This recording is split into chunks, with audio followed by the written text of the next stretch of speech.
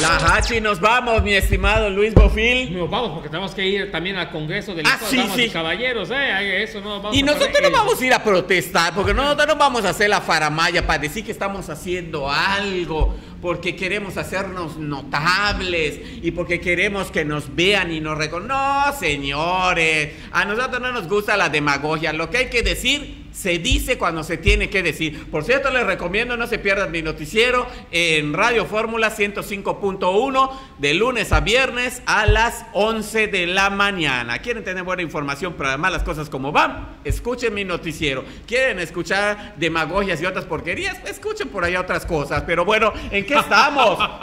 ¿En qué estábamos? Que vas a hablar de los morenos. Porque ahorita no Ay. hay- el sol también hace una parte. Y Edwin, que además de querer bastante acción nacional, al PRI, al verde ecologista actual, que por eso nunca Y lo bueno de no militar en ningún partido, ¿estás de acuerdo? sea Dios. No, y al verde ecologista, que como podemos ver, nunca murió el verde ecologista porque Jamás va a morir. Óyeme, qué satélite tan bonito, ¿verdad? Así es, ¿cómo? de puro trapecista, como brincan de un lado para otro, ¿verdad? Yo nunca le vi la vocación de cirquero a Juan Centeno. Bueno, a ver, pues, bueno. Saludos, Juanito, te queremos. Que se me hace que se molestó porque nunca le puse que una trucita. Sí, sí, así es. Y anda vendiendo mazapanes, Juan Ah. Centeno, allá en Motul. Sí. Dice que para sobrevivir, Me como eso imagino. que es rotario. Sí, me imagino. Ay, pero bueno, íbamos a hablar de Morena. ¿Y por Ajá. qué íbamos a hablar de Morena? Porque ya ven que todo se entrampó debido a que pues tuvo que intervenir la autoridad federal para decir que el proceso en Morena a nivel nacional Así y es. obviamente a nivel local estuvo amañado. ¿Qué pasó? Pues se les cayó el proyecto a todos esos que iban detrás de Villebaldo Pechmo, entre ellos a mi amigo Mario Mesa, aunque diga que no, Ajá. que era quien andaba empujando esto, pero lo mejor era que detrás de Villebaldo y de otras personitas que andan allí en Morena, pues andan manos priistas, déjame decirte. Qué raro. Sí. Si el ADN, ¿cuál es el ADN de los morenos? En gran parte, ¿Verdad? parte. Ahí se ve ciertas manos obscuras empujando a Morena, pero también ya se está empezando a ver el armado de lo que va a ser el 2021. Y me refiero a los satélites. Por eso había que contarlo de Morena. Por eso también hago un espacio para decir que país Ah, pues va a eh. buscar su registro, o sea, lo que fue el PRD, esta corriente que se dividió ADN del PRD, que aquí también en Yucatán se dividió y que quieren formar a nivel nacional, que lo encabeza este alcalde de, de Ciudad Neza Sí. en, en el DF y que, bueno, es diputado federal y que además quiere, pues, ser dirigente nacional de su partido, de país, pues ellos van a llevar su asamblea el día 30 de enero.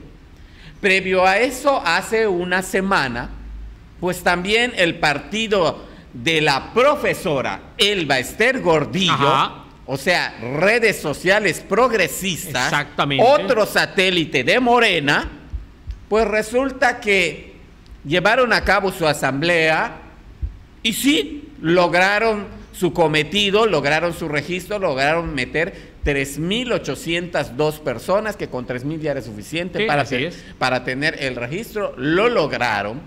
Nada más que aquí, ¿qué sucedió? Lo que sucede siempre, sale a relucir el oropel, aunque lo vendan como oro, pero resulta siendo oropel, y pues quienes venían trabajando redes sociales progresistas porque veían un proyecto ahí real, y me estoy refiriendo al profesor Luis Felipe Avilés Mendiburu, Mm. que era el representante estatal de redes sociales progresistas, pues resulta que un día antes de la asamblea le avisan al profesor Avilés Mendiburu, ¿sabe qué? No usted va a presidir la asamblea, la va a presidir un exmiembro destacado de Morena y ferviente admirador de López Obrador. Y me Mm. refiero al joven empresario, porque así se vende, Tufi Mafut. Ya. Y él ponen a encabezar la asamblea. ¿Por qué? Porque se vendió bien con la maestra Elbester Gordillo, porque pues Todavía no se ha definido si va a encabezar la dirigencia o no, porque también hay que señalar que, pues como el caballito de Troya, dentro del caballito que le pusieron a mi estimado Tufi Mahfoud para que llegue a redes sociales progresistas, pues ahí le pusieron su sota de bastos a Joaquín Salinas, ex dirigente nacional del Partido Socialdemócrata. Así es. Y bueno, ahí no se ha definido cómo va a quedar, pero sí salió un día antes, después de que le notificaran esto al profesor Avilés Mendiburu, pues a decir que todo esto estaba mal, que estaba muy truqueado. Lo que no dijo es que luego le tiraron línea y le dijeron tienes que apoyar. Y salió en un video, pues apoyando a Tufi Mahfoud, diciendo Claro. que sí, que iban a participar en la asamblea, que luego no hizo, que sí mandó a su gente. Ah, porque luego tremendo escándalo se armó y se armó en redes sociales.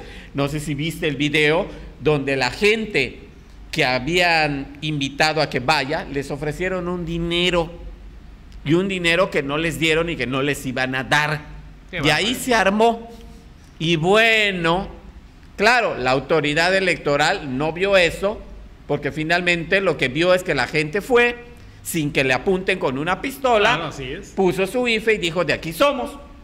Así es que lo que salgan a decir después, pues bueno, a la autoridad electoral le vale porque redes sociales progresistas, a pesar de todo esto del acarreo y todo esto que se dio, que dijeron que no hacen, pues sí, se llevó a cabo y sí, obtuvieron su registro y lo que está por definirse, que esto va a ser ya brincando el año, Así es, es.